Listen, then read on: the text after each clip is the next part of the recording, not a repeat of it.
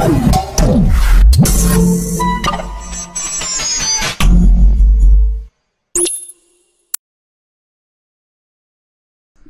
guys, welcome back to Ren Gaming. It's another Forza Horizon 2 one. This is for racing a Lancia Delta through a forest at night. Now this one is tricky, which is why I'm putting it up straight from the start. Ignore the little green thing to start with. Take a left.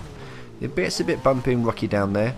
But this one, unlike the bowler one, what I've done on here, I've left in the mistakes so you can see the way to go and the way not to go. And as you see, the actual path I should be taking is miles over there on the left.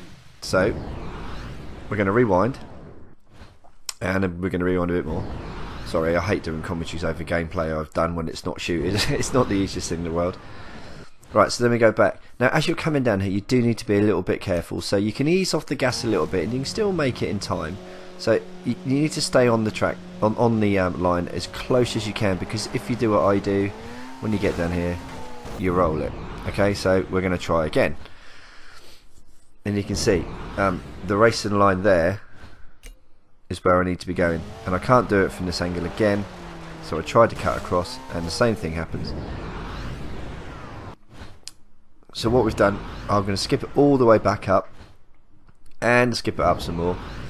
And when we start from here, you can see I, I do attempt to stay on the line, but this time I do actually go a little bit left of it, but I make the jump at the bottom. That's all about hitting that straight. If you hit that straight, you're fine. If you come at it like I was sliding, you got no chance.